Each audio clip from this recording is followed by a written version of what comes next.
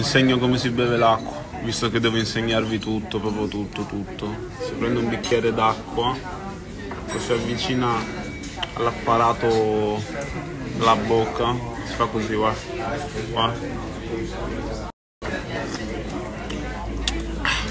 Aspetta. Un sorso alla volta, non più di un sorso. Fa questa persona seduta non al tavolo di fianco al mio, hai capito? C'era un tavolo che ci separava. Questa persona seduta di là. Ha la faccia tosta di dire: Ehi, ehi, giovanotto, scusami. Guarda che la mia. Cos'è che ha detto?